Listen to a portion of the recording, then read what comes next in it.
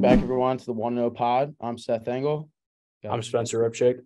Yep, and we're uh, joined today by 24/7 sports beat writer for Virginia, uh, Jacquie Franciulli's here. So thank you so much, Jacquie, for joining us. Well, thanks for having me. So the big news today is, you know, obviously Penn State filling their open wide receivers coach position with Marques Hagans, who's a longtime assistant coach on Virginia. Um, he's been there since I think 2013, um, and now he comes to replace Taylor Stubblefield.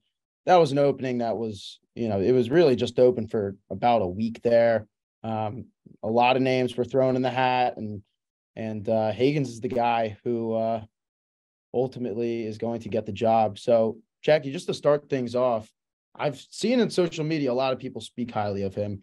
You know, right off the bat, what is Penn State getting in in uh, Coach Hagans?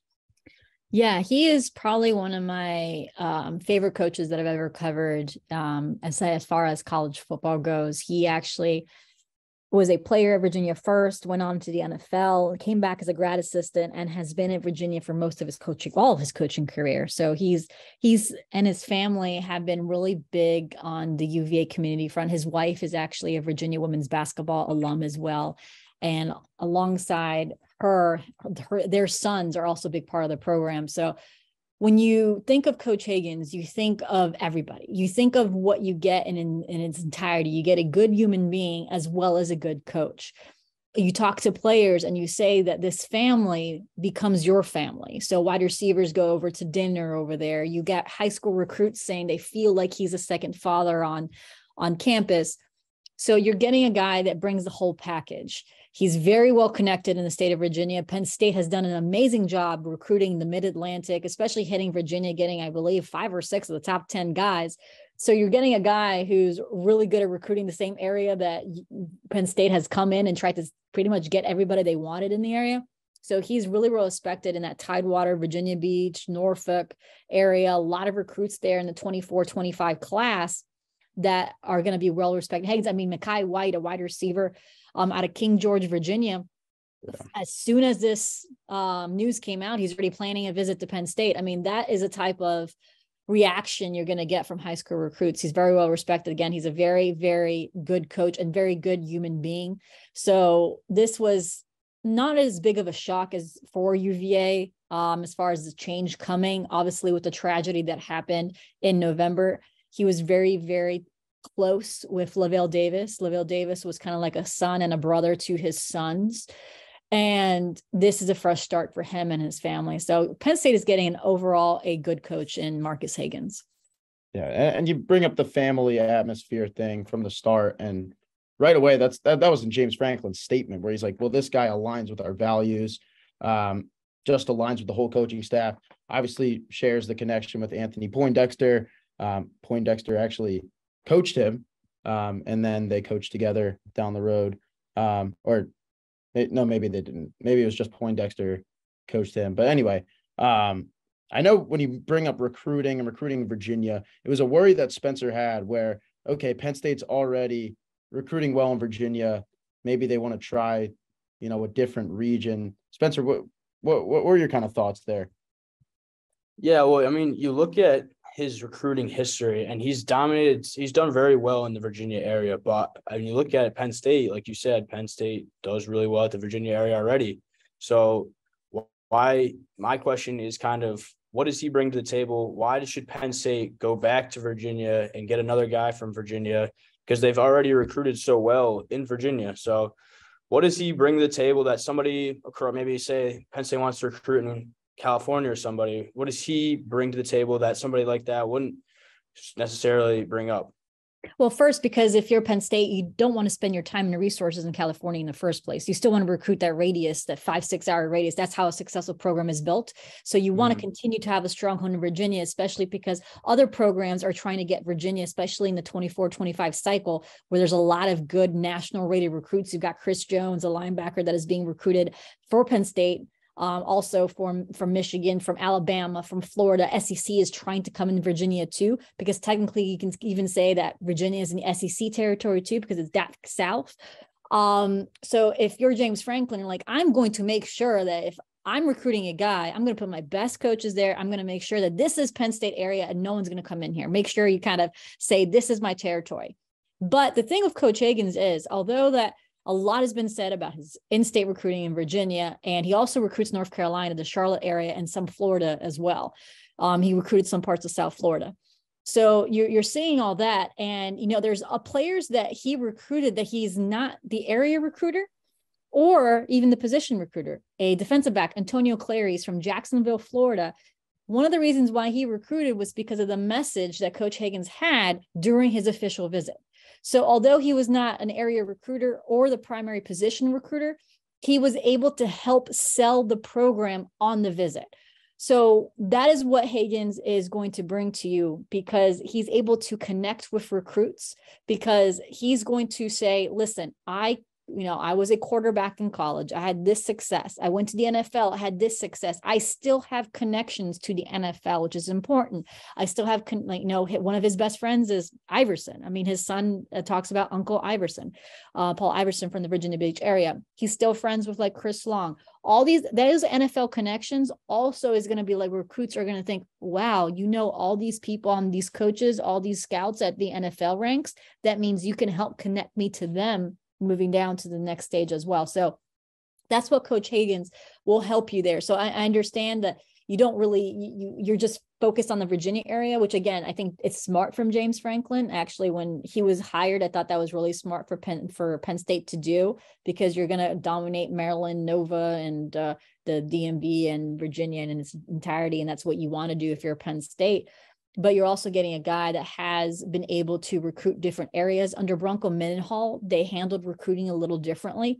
So under that staff, you recruited your position, not areas, which was a little different how you handle normally in recruitment. So Coach Hagans had to go to different states to get his recruitment. So Dontayvion Wicks was in Louisiana. So Marques Hagans was able to get some recruits and some connections through Dontayvion Wicks. I mean, Keaton Thompson was a Mississippi State wide receiver, but he was also Louisiana native. So now you're having a couple of guys from Louisiana that Coach Hagans was able to bring over to Virginia. So there's a there's a lot of different connections that he was able to get through um, to the last few years of his, um, I guess, coaching career through Bronco Mendenhall's uh, kind of tenure.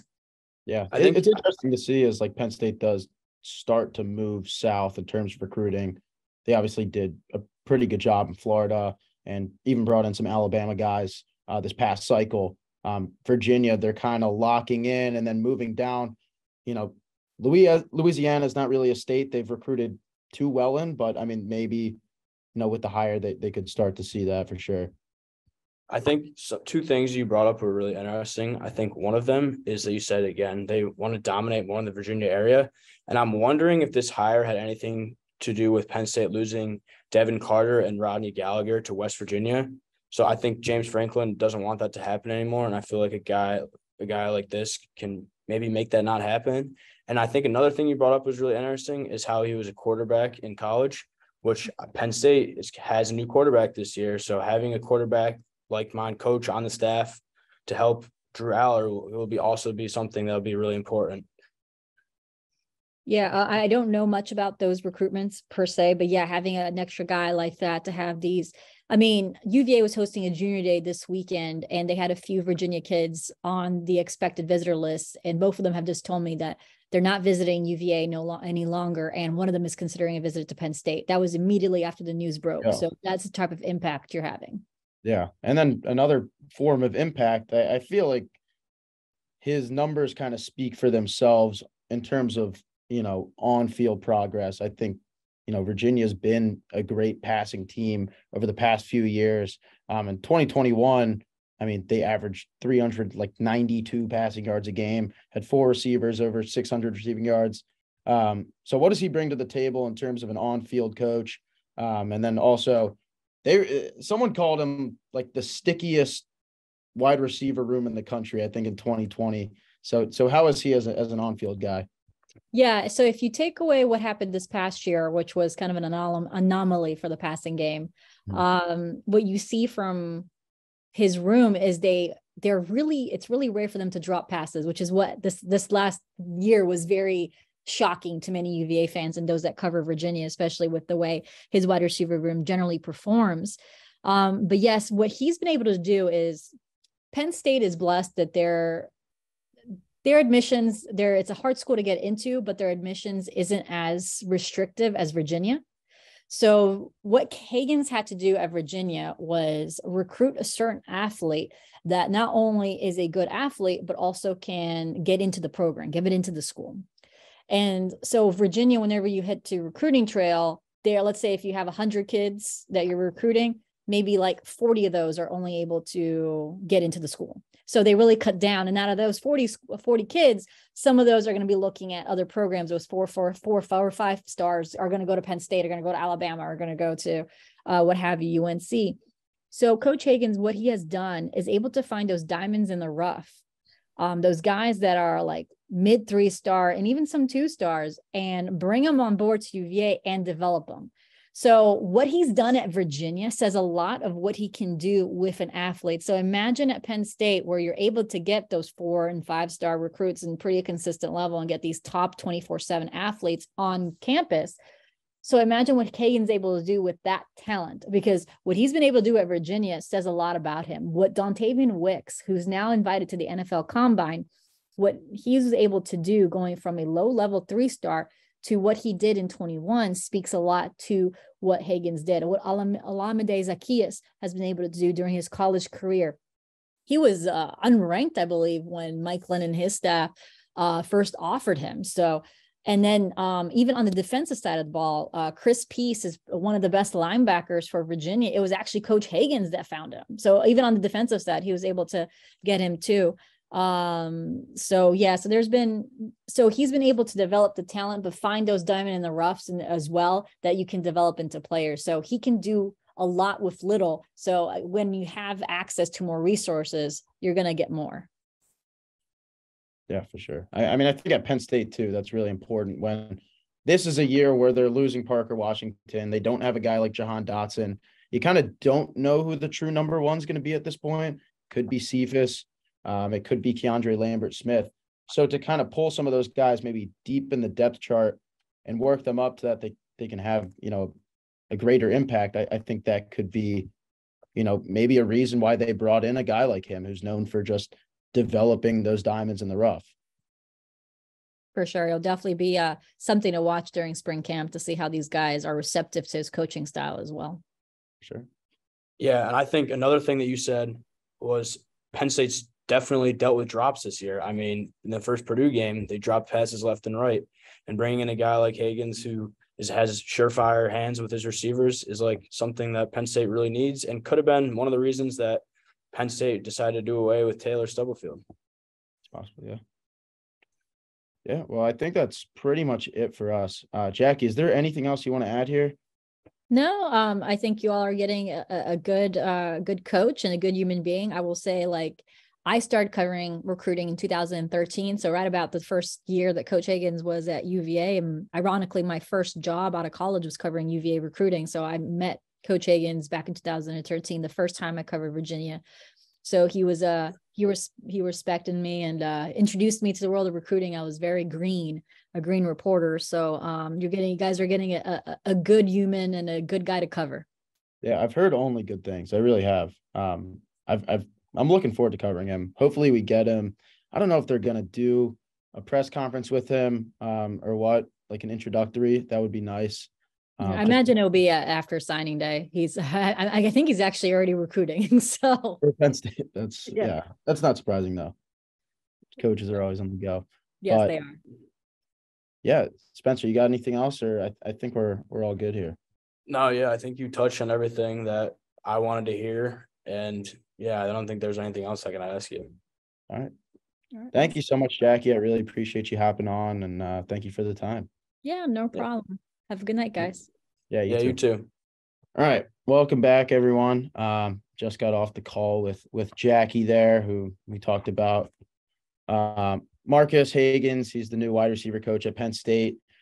Now, Spencer and I are going to talk a little bit about what we think. Um, I think Jacquie was super helpful and just kind of understanding from a deeper perspective the hire itself um, without just looking at a 24 7 recruiting ranking and saying, okay, well, he's brought in just one four star in the past few years.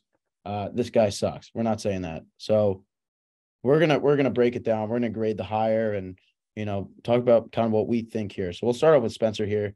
Um, right off the bat, what what were your thoughts and and how have how have they changed over the course of the day? So I've had this. I mean, after hearing what Jacquie said, I've definitely felt more comfortable with the hire. I, at the beginning of the day, I was just wondering why would you fire Taylor Stubblefield and bring this guy in because I don't know if he's any better. I mean, I see three reasons they hired him. One, obviously, is the connection with Anthony Poindexter.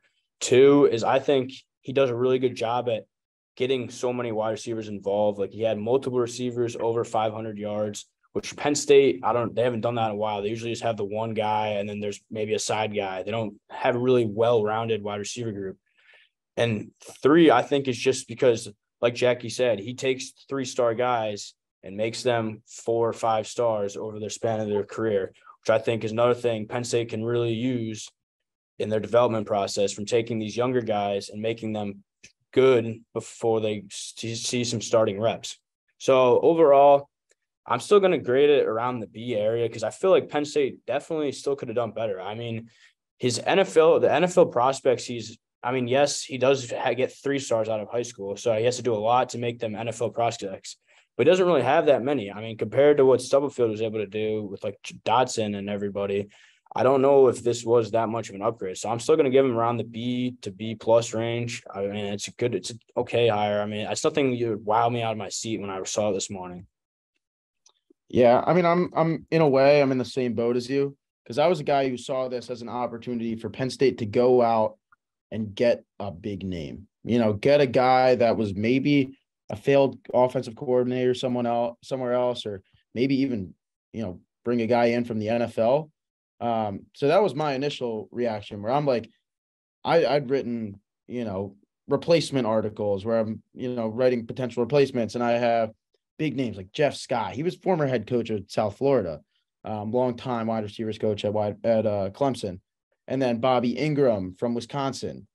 You know, he was just the OC there. Chris Beatty, which didn't end up happening because he the Chargers didn't let him go, but that was a name, you know, that people were were bringing around. And then Calvin Lowry is obviously, you know, offensive analyst right now with Penn State, and there are some questions about whether they were going to move in house with someone who had just been there for two weeks. I probably wouldn't have been the right move anyway, but I don't know when it when it comes when it comes to uh to Hagans, I think that there's a lot of room for growth for a guy that's already been a position coach for a power five program for 13 or for 10 years. Um, I think there's a lot that he can work on in terms of recruiting. I don't know if he's had the opportunity yet to recruit on a big scale and recruit for a team like Penn State because he's had to work. It's it's Virginia. Like yeah. Penn State is a better Virginia football school than the University of Virginia is. And that really does say a lot. Um, so he, I mean, he really has, he doesn't have that much experience bringing in the big name, four stars and five stars. But once you give him that platform at Penn State, he could take off just based on his ability to recruit in state and then also to recruit, you know, further down in the South, like North Carolina and, and Louisiana. I'm gonna give this a B plus. Um, I, I, it's not, it's it's not necessarily the greatest hire. I think they could have maybe gotten someone that was potentially an A plus. Um, I think that the whole fitting the family values thing and everything, I think that's all really important. And you can't just go out and get someone that doesn't fit your culture. That's really important. Um, I think the best thing about this guy is that he is going to make the wide receivers that Penn State has right now better in the 2023 season. That's that's without a doubt. That's what I think he's best at is producing. You know, he's he doesn't have too much experience with these big name NFL talents. He mentioned like Jahan Dotson and stuff like that.